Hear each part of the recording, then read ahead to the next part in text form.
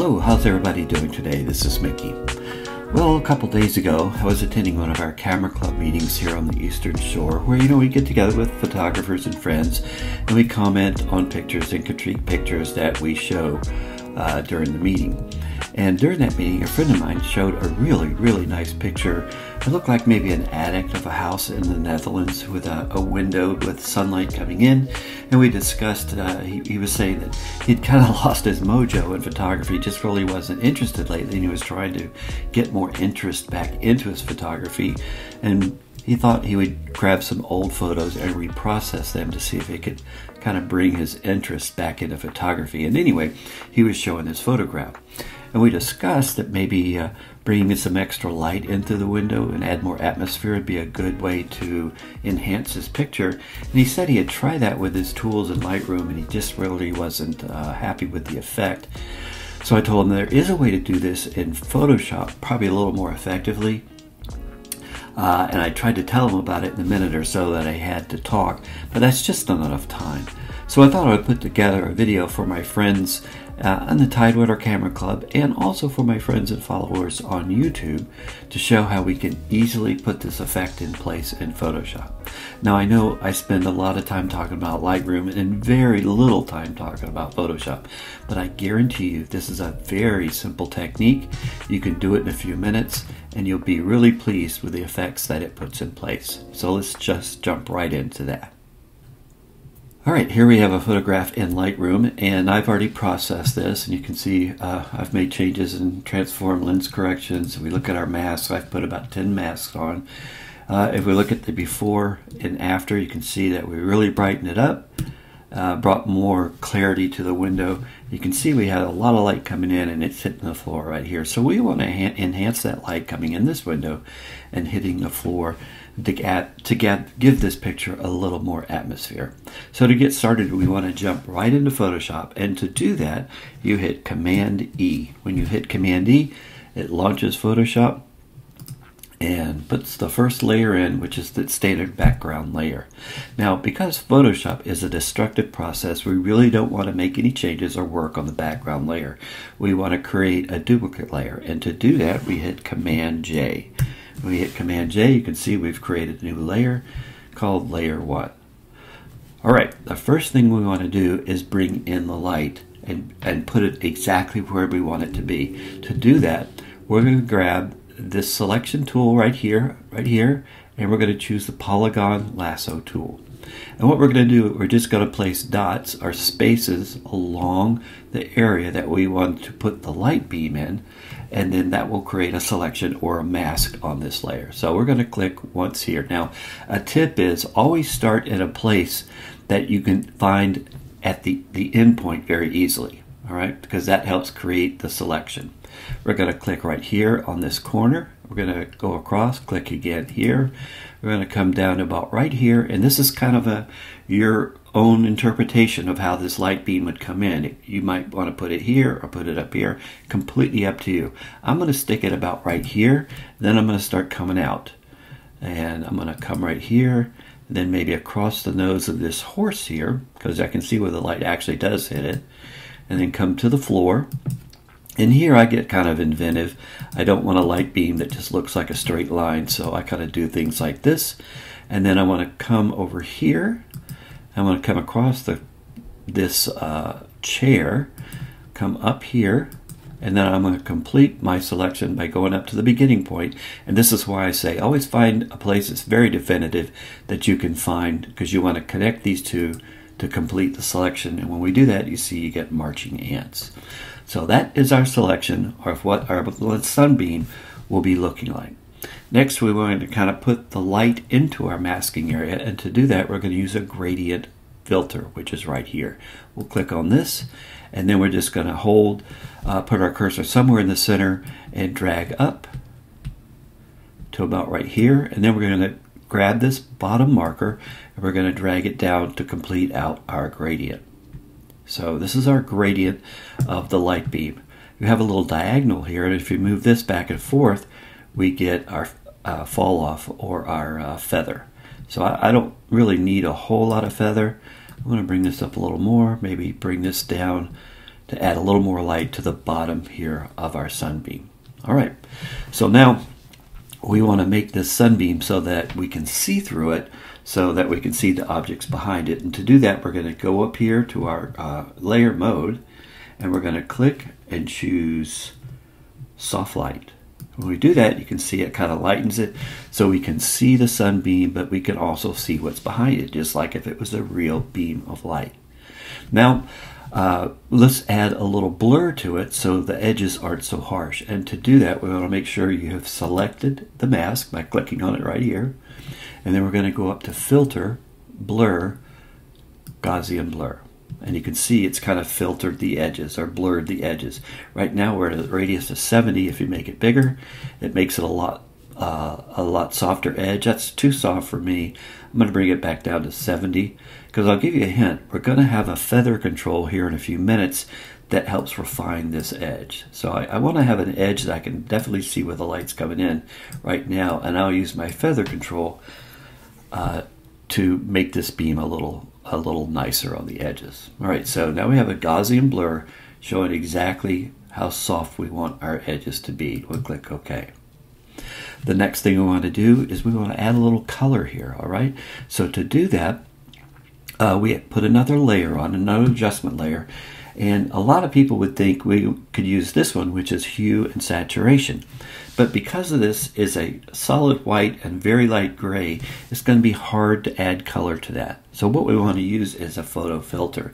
And that's what this adjustment layer is right here. So we'll click this. As you can see, it throws another layer on and we get to choose the color. Now there are some colors that are just predetermined, but I like doing it myself. So I click on this color button here. I click on the color swatch. I'm going to make this a little more yellow, about like this. I'm going to choose this color right here. This is the color I want the sunbeam to be. All right, click OK. Now, if you move the density slider, you can see we can bring that color in. But you also notice we're bringing in color everywhere, and we only want it on the sunbeam. So to do that, we create something called a clipping mask.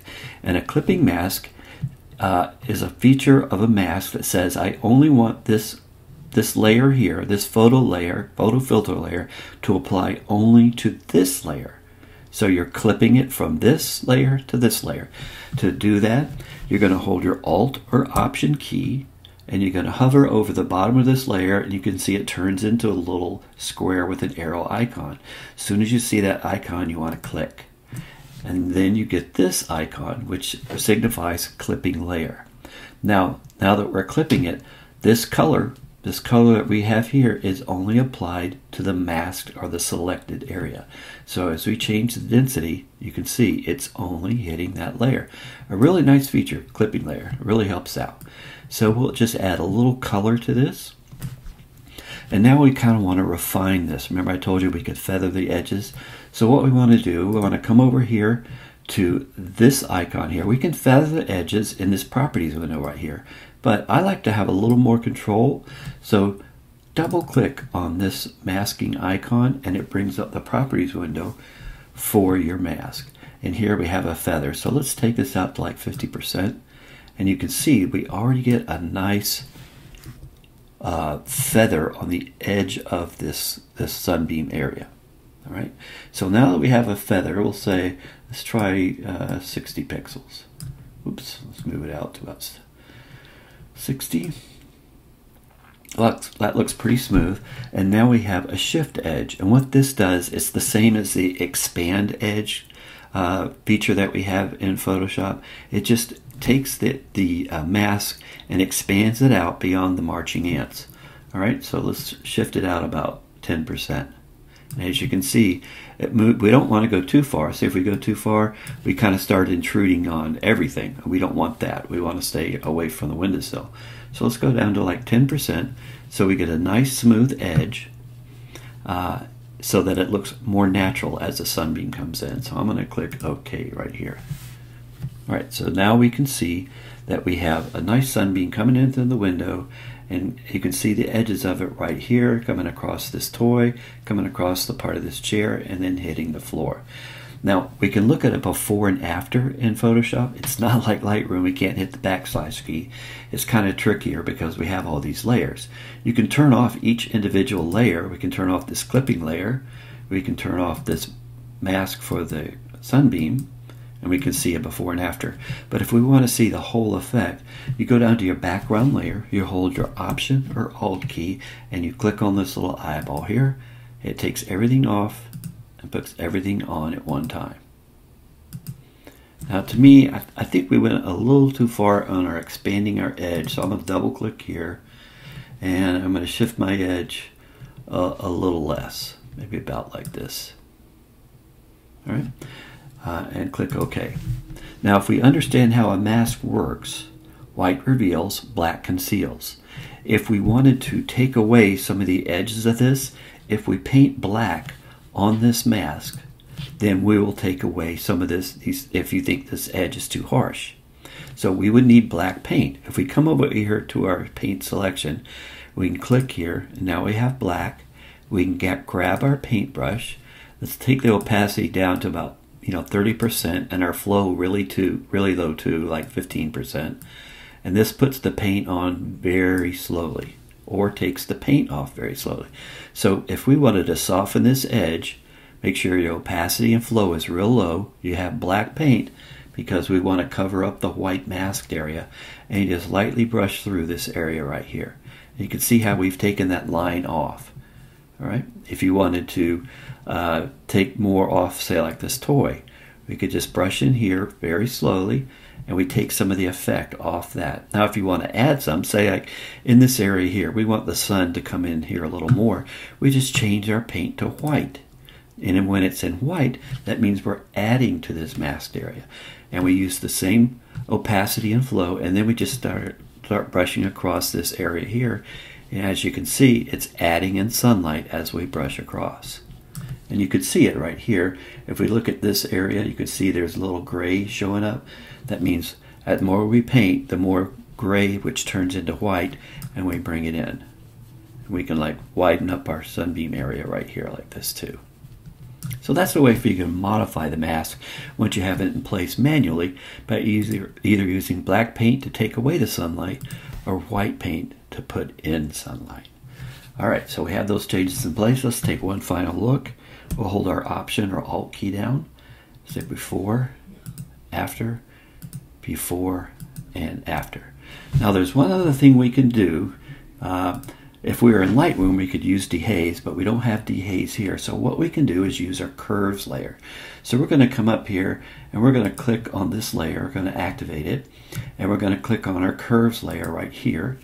And it brings it in. And we want to clip it to these layers. So again, we're going to hold our Option or Alt key down and clip it to this layer. And then we're going to grab our black point, which is right here. And by increasing our black point, we increase haze, or we take in away black, which makes it look hazier. So we're going to grab this point, and we're just going to drag it up like this. And when we do, you can see how we're bringing haze in, and it gives us a little glow, because sun does make a little glow when it comes in a room. So let's bring it up to about right here. And we can see this effect, oh, uh, how it is applied and when it's not. This is before, after, before, and after. So that just adds a little glow. Uh, just be sure that you clip it to these layers so we don't want to apply it to the whole photograph. We just want to apply it to the masking area that we put in. All right, now let's look at our before, after, before, and after. And once you're done, you hit Command S to save it, and it will send it back to Lightroom. So here we are back in Lightroom. Let's blow this up just a little bit, and we can see our before and after. Let's uh, check, select both these photos and hit C for compare. And shrink this down a little bit. You can see before, which, you know, it looks okay, but and after you can see just that little bit of light that little bit of atmosphere comes in just makes the picture just a little more interesting. And we did this kind of quick. You can still experiment more with more maybe more light a bigger area uh, and just see what kind of effect works best for you. But it's it's just a really nice easy effect to bring the light in to enhance this picture a little better than than the original Well, I hope this helps out. Anybody has any questions, be sure to send me a note or send me an email. I'll get on it and help it just as soon as I can. And I can't wait to talk to you again soon. Thanks.